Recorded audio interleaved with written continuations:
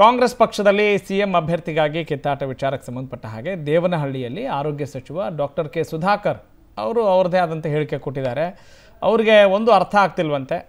ಪಾಪ ಕಾಂಗ್ರೆಸ್ನವ್ರದ್ದು ಏನು ನಂಗೆ ಗೊತ್ತಾಗ್ತಾ ಇಲ್ಲ. ಇನ್ನೂ ಮಗುನೇ ಹುಟ್ಟಿಲ್ಲ, ಅವಾಗಲೇ ಇವರಿಗೆಲ್ಲ ಅಧಿಕಾರದ ಆಸೆ. ಇವ್ರಿಗೆ ಯಾವ ಶಾಸ್ತ್ರದವ್ರು ಹೇಳಿದಾರೋ ಗೊತ್ತಿಲ್ಲ. ಅವ್ರ ಭಾಷೆಯಲ್ಲೇ ಹೇಳೋದಾದರೆ ಅವರ ಅಪರಾಣೆ.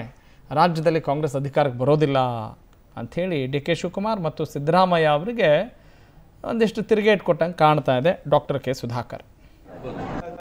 ಪಾಪ ಕಾಂಗ್ರೆಸ್ ಅವ್ರದ್ದು ಮಗುನೇ ಹುಟ್ಟಿಲ್ಲ ಇನ್ನು.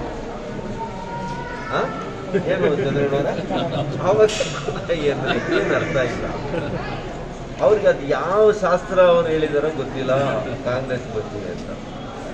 ನಾನು ಖಂಡಿತ ಅವ್ರ ಭಾಷೆನೇ, ಅವ್ರ ಭಾಷೆಯಲ್ಲೇ ಹೇಳ್ತೀನಿ. ಅವ್ರ ಅಪ್ರಾಣೆ ಕಾಂಗ್ರೆಸ್ ಮತ್ತೆ ಕಾಂಗ್ರೆಸ್ ಸರ್ಕಾರ ಬರಲ್ಲ ರಾಜ್ಯ